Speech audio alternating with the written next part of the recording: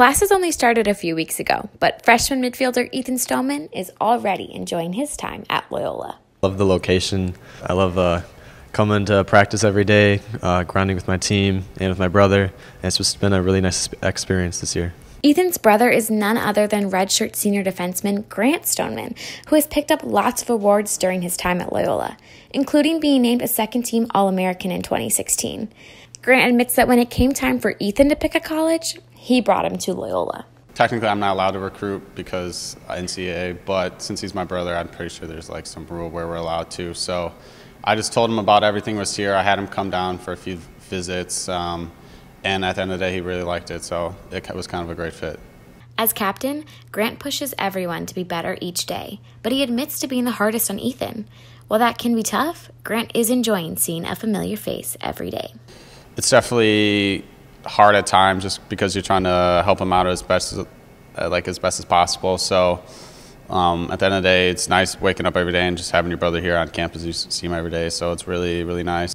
Another benefit of being on the same team together is the connection the two have on the field, a connection that doesn't even require words. When he has the ball, like I don't know, like I'll just move to a spot and he looks up, looks at me, looks, and I look at him. You don't really have to say anything. You just have that like chemistry.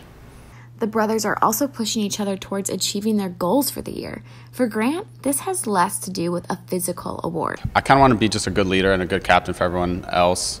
Um, that comes with intangible things. You're not going to get an award for being a good, a good captain, but I just want the guys to just see me as someone who they can uh, follow, and I just want to be a good leader for them on and off the field.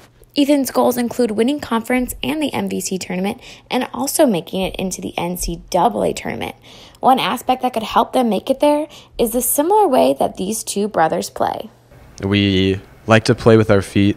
Um, we're calm on the ball. We go into tackles hard.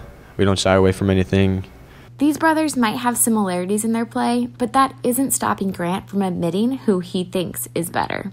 Coming into college, I feel like Ethan was is probably a little bit better, but he's definitely got some work to do, and uh, I think I'm definitely better than him. So.